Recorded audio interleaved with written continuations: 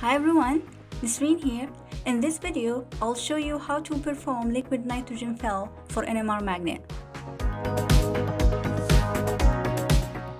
In order to maintain large magnetic fields without electrical resistance, the superconducting coil has to be cooled to the boiling point temperature of helium. And therefore, we use two sets of cryogens to operate the NMR magnet.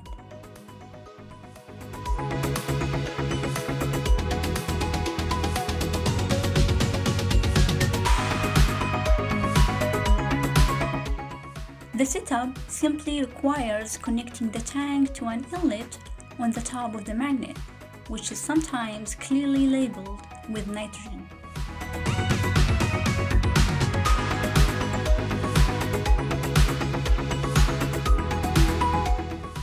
The fill is done first by connecting the hose to the nitrogen tank.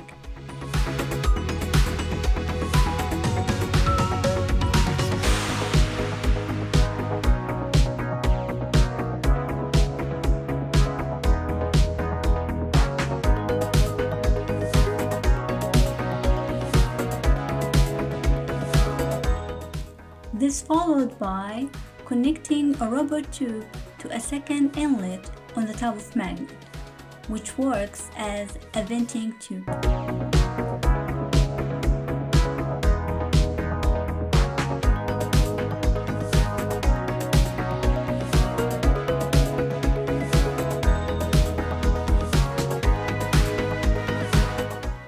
By turning on the knob, liquid nitrogen is then transferred until the magnet is full.